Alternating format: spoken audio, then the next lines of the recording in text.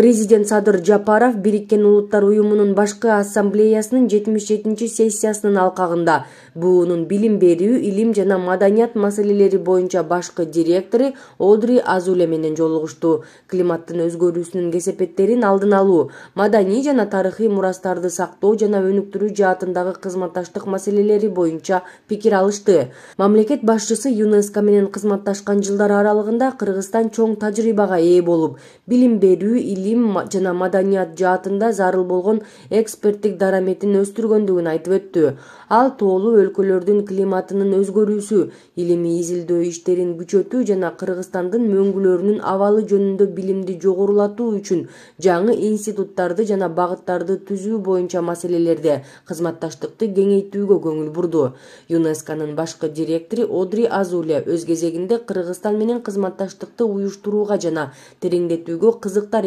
экендигин билдирди ал садыр жапаровду келэрки жылы кыргызстан үчүн активдүү мүчө болгон уюмдун аткаруу кеңешинин кезектеги сессиясына юнесконун штаб квартирасына келип кетүүгө чакырды